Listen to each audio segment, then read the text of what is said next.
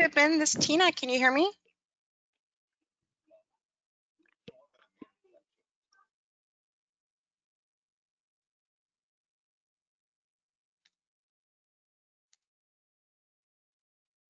Hi, Vipin, this is Tina. Can you hear me? I think you're muted.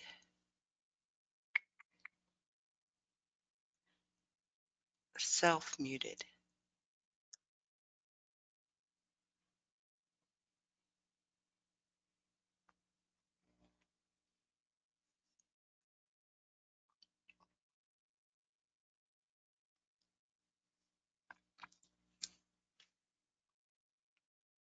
Oops, she went away.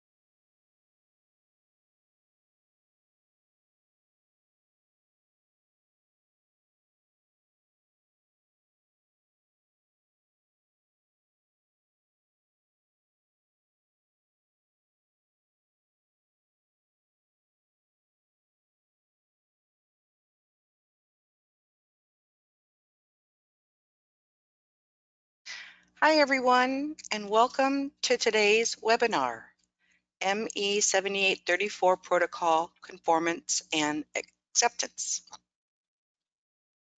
Before we get started, I'd like to go over a few items so you know how to participate in today's event. You have joined the presentation listening using your computer speaker system by default. If you would prefer to join over the telephone, just select phone in the audio pane and the dial-in information will be displayed.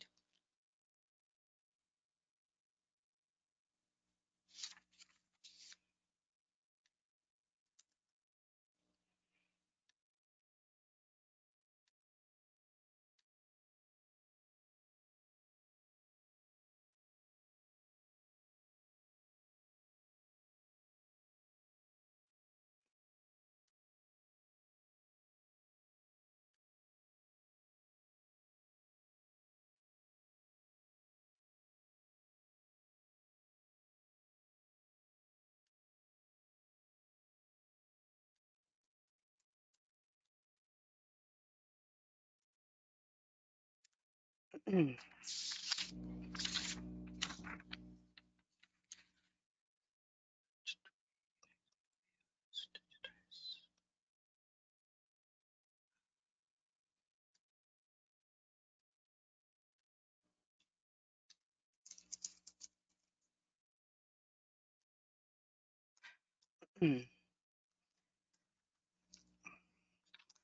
have the opportunity to submit text questions in the questions pane.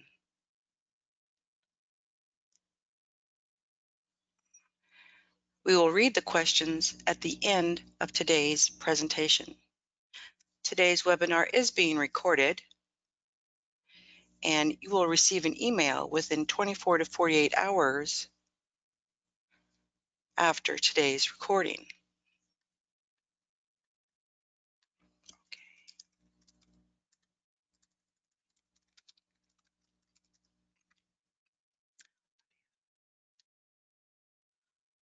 Mm.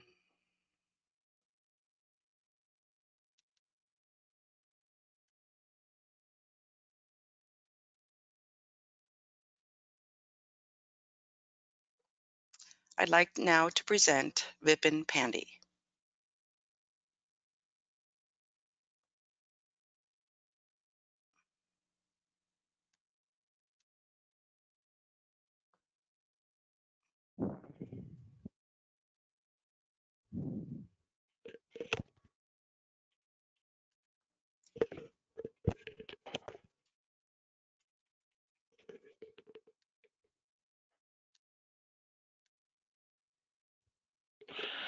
Hey, good morning, everyone. Uh, thanks a lot for taking time to join our session today. Uh, just a brief introduction, although you might have seen the details. My name is Vipin, and I am responsible for product marketing of Anritsu's protocol and uh, carrier acceptance test products. So today's presentation slides cover our ME7834 protocol conformance and acceptance system. I will be covering these four topics in my slides. So we'll begin with a brief update on the industry in general. Then we'll talk about Anritsu's 5G product portfolio. Then spend some time on the ME7834NR product itself. And finally, we'll talk a little bit about the milestones that we have achieved on 5G protocol conformance testing in the industry. So to begin with, I will start with the current status of 5G deployment. As we all know, 5G has taken off very fast all over the world. We have a number of operators today who are deploying or have already deployed 5G networks. The precise number, as we expect at the end of uh, quarter one 20 was 70 operators have invested in 5G worldwide. We already have commercial 5G networks in a large part of this world. So if you look at the little map in the bottom right hand corner of the screen, all the red shaded regions already have a commercial 5G network. And all the blue regions are the ones which are investing in 5G. In some ways, they are either deploying, have deployed, or are basically trialing 5G networks. So in history so far, 5G has been the most quickly deployed access technology so far. Now, if we talk about the different flavors of 5G, uh, we have deployments which come in the sub-6 frequency range and in the millimeter wave range. So if you look at the upper part of my picture, it shows the different regions. The blue dots show the regions which have deployments in both sub-6 and millimeter wave, prominently North America, which is US, Japan, South Korea, Russia. These are the regions which have already deployed millimeter wave networks. The white dots show the regions which are currently focusing on sub-6 frequencies only. So Europe, Middle East, South Africa, and of course, China, which has both the networks, and Australia. So overall, every region has made their priorities on the deployment of different network types, but pretty much everybody is investing in 5G. Now, something to mention, uh, Europe has already, as I said, got a number of networks in sub-6 frequency range, but they have decided to pick up 26 gigahertz for millimeter wave deployment, which we are expecting by the end of this year. Apart from that, you can see a large number of countries already have commercial deployments in these sub-6 frequency ranges for 5G. Moving on, um, we take a quick look at the status of 3GPP standardization. So we work quite closely with the industry and the different 3GPP bodies that work on defining specifications are listed on this diagram. So we have the RAN groups, the different RAN groups, uh, RAN2, which defines the core specifications, which define how the networks work. And then we have RAN5, which is responsible for definition of the test specifications, which define the test cases and the test plans, which are implemented by Anritsu and other test vendors. And below that, we have a line for ETSI. ETSI creates the abstract test suite based on the RAN5's definition of test cases. And finally, we have the certification bodies, which is the GCF and PTCRB.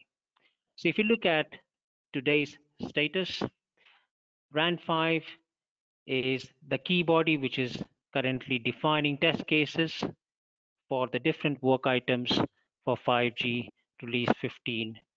And ETSI is creating TTCN or abstract test suite for these defined test cases. Um, as many of you would be aware, certifications for 5G devices have already started.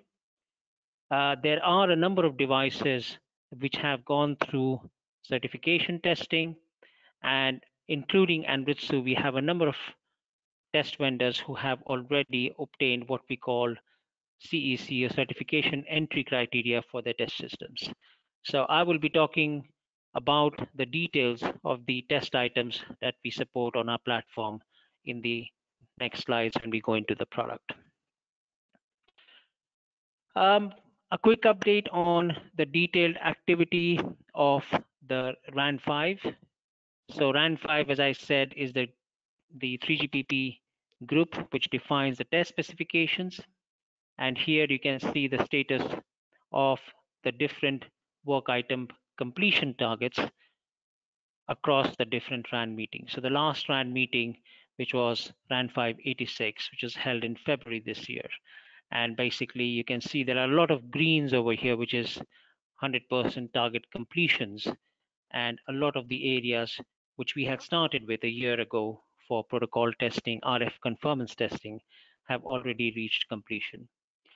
So all in all, the progress of 5G test specification is moving as fast as the network deployment is moving. So everything is going at a very fast pace.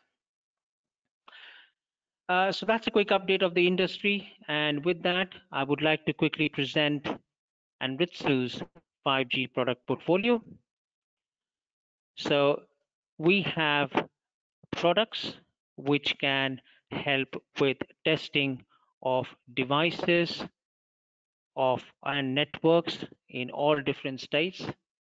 Many of these products are already in the market. So we have vector network analyzers, signal analyzers, spectrum masters already available and being used. Our core system simulator product for 5G testing is the MT8000A, which is also the cornerstone of all the large system products that we are going to uh, talk about shortly. And we have also introduced a range of OTA chambers because as you would know, 5G uh, relies heavily on millimeter wave and for testing millimeter wave, OTA is the most, is the only option.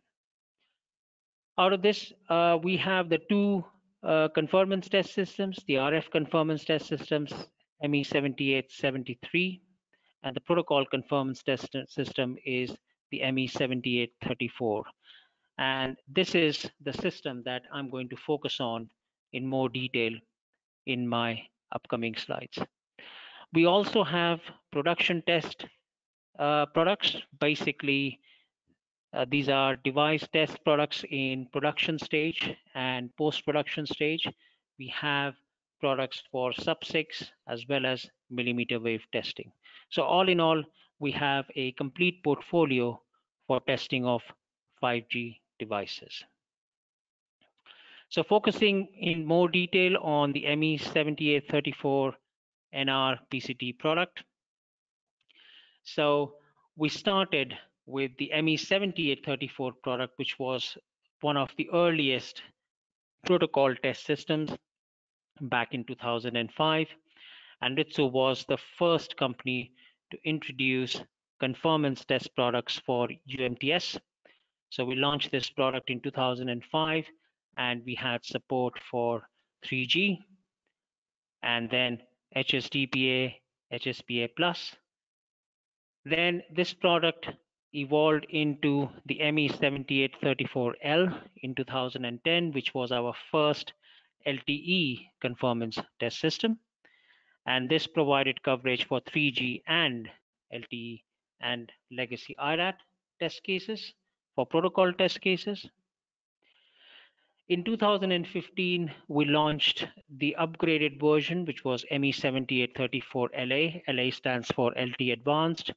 And this system supported higher order carrier aggregation and MIMO in addition to all the legacy features already supported on the L system. And now finally in 2018, we have launched the ME7834NR, which is the 5G NSA SA addition to the existing LA system. So this is the new system we're going to talk about today. But in essence, the ME7834 product is an enhancement of the same base product with the same concept of supporting protocol conformance and acceptance testing. And at Anritsu, our target is to always stay ahead of the technology evolution. The ME7834 product, as you can see, has been in the market for a very long time. Uh, we have a number of deployments already of this system across different customer types. we have operators or carriers who are using these systems for conformance and acceptance testing in their labs. Uh, we have different test houses who already own this system for performing device conformance tests and pre-conformance testing. Uh, we have a number of terminal uh, companies um, who are using our system for pre-conformance and in some cases conformance testing. And we also work with chipsets very closely. All the leading chipsets in this world are using the ME7834 system. We have been working with legacy as well as we have now started with 5G. So right from 3G time, we have support for technologies like TD-LTE. Uh, we have support for China Mobile acceptance test cases, and we have support of the GTI acceptance plan. So all these test plans are supported on the same test platform, which is ME7834. Um, we started IMS with LTE, and we were the first system to support features like emergency services and SRVCC. And since then, we have continued to maintain our lead in IMS related test packages for carriers as well as for certification testing. So out of all the uh, certification bodies, you can see the different work items test packages that we support today on the ME7834 protocol test system. In addition to this, we also support IMS VoLTE test packages for the different carrier acceptance test programs, and we are aggressively working towards supporting the IMS packages for 5G. We have um, very good coverage in the legacy technologies uh, in both LTE, uh, TD-LTE, and FDD-LTE, and we have very good interworking with the older legacy technologies like GSM and CDMA 2000. Apart from that, we are also an approved supplier for China Mobile ecosystem in China.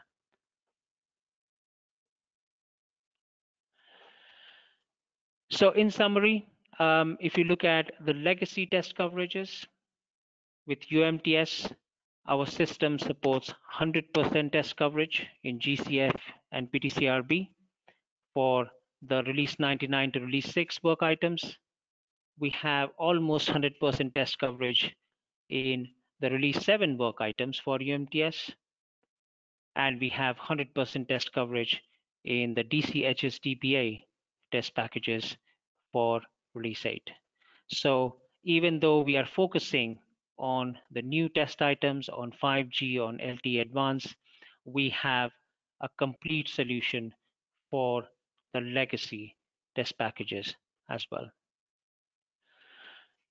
Talking about LTE Advanced Pro, which was the uh, back end of LTE program, we were the first test vendor to introduce features like license assisted access or LAA. And we have been leading the validation and approval of test cases right from the inception of these packages in GCF and PTCRB. Also, on the IoT test plans, which is release 13, we have complete coverage of all the work items defined by both GCF and PTCRB, which includes the enhancements to network, which includes EMTC, enhanced machine type communication, and NB-IoT. So all the mandatory certification required for IoT is supported on the ME7834 test platform. With that, I will move on in more detail to talk about the new NR platform. So ME7834NR has been upgraded to support 5G RAT in addition to the LTE Advanced LTE and the legacy IRAT. The current system supports the entire release 15 of 5G NR and LTE release 8 to 13. We support both non-standalone and standalone mode. And basically, we also support carrier acceptance test case programs for a number of global carriers that you can see over here. So we have Japanese carriers, American carriers, Korean carriers, Chinese carriers, and pretty much everyone that has a carrier acceptance program. This entire structure is supported on the same ME7834NR platform. By the way, this is uh, registered as test platform 251 in GCF and PTCRB. A little bit more detail on the the capabilities and the structure of the system. So the system contains two of our MD8430 signaling testers and an MT8000 signaling tester for 5G. This particular model shown here is a sub-6 system, so it supports all the defined sub-6 frequency ranges and is currently available for conducted mode testing for sub-6 devices. The millimeter wave system is a small upgrade to the sub-6 system, and in addition to the sub-6 frequencies, this system also supports the millimeter wave frequencies. The addition, as you can see here, is the millimeter wave OTA chamber and the converters which upconvert the frequencies which are fed into this chamber.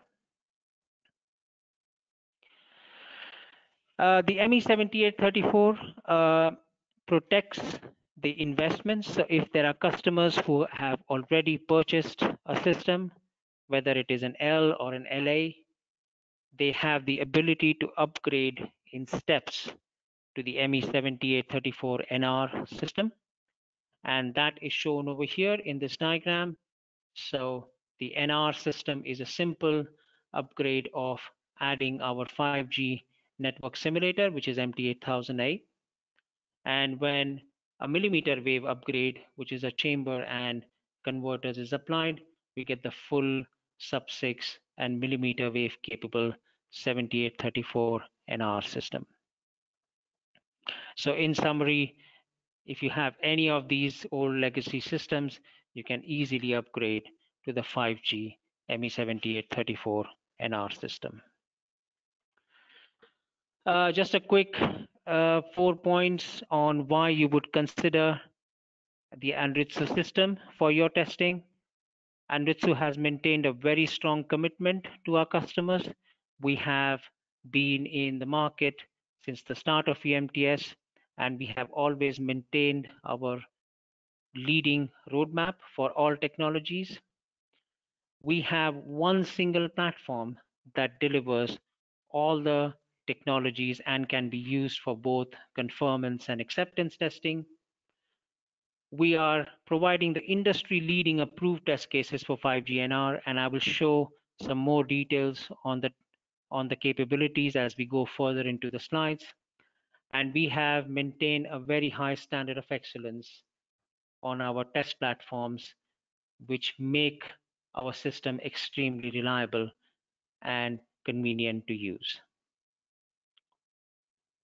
So with that, I would like to spend some time talking about the achievements that we have in the industry on the test case numbers for 5G. So the first achievement, uh, PVG 88, which is a PTCRB meeting, the, the last meeting, uh, we achieved the highest number of validations across all the NSA and SA test cases. For US operators, which specifically target PTCRB, we have maintained leading coverage on all their test requirements. So these are specific bands which are deployed in the US. And again, Anritsu has maintained leading coverage in all these bands. On GCF, we are not far behind. We have maintained leading coverage on all the US operator requirements for GCF operators as well. So in summary, we have actually maintained leading coverage across all the required items for 5G, and we've been staying ahead of the technology curve. So that was a very quick update from my side. If there are any questions at this time, I'd be happy to take them. Thank you, Vipin. Um, I have a few questions. Okay. Uh, first one, uh, what new features do you foresee being supported for conformance testing in 3GPP release 16? Okay, so that's a very good point. Uh, 3GPP release 16 is defining some new items in 5G, specifically the uh, areas like URLLC and the enhanced uh, mobile uh, enhanced MTC. So we expect these features to come in in the end of by end of this year. And the good part is our platform, the ME7834NR, is already capable of supporting the underlying features. So it is for us just a question of supporting the test packages when they are available from ETSI. okay, our next question. 5G conformance items are being developed very fast. How do you ensure that Anritsu PCT is always able to support latest industry requirements? Okay, so um, we are working very closely with a number of chipset uh, customers who are actually the leaders in the industry. The industry roadmaps and features are sort of set by the carriers and followed by this chipset. And since we collaborate with these chipsets, uh, we always have these latest features. So if there is a new feature which comes in, our chipset partners are the first to implement them. And since Anritsu collaborates closely with all the chipsets in this world, we have always got the latest features. Okay. And right now, the last question, has the recent situation related to COVID-19 affected development or support? Um, yes, it has slightly, but in a very positive way. So uh, we have been uh, developing our products out of a number of locations worldwide. We have offices in the US, we have R&D centers in Japan, in other locations in the Far East, uh, in the UK where I'm based.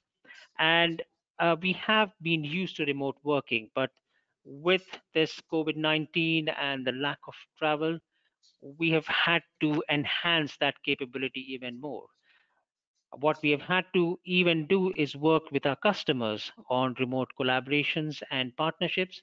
But overall, uh, this has only resulted in a positive impact on our development capability. I think not there has been no negative effect at all. We had a learning exercise, but it worked very well. Great. Another question. Can ME7834NR also support LTE UMTS in one system? Uh, yes, definitely.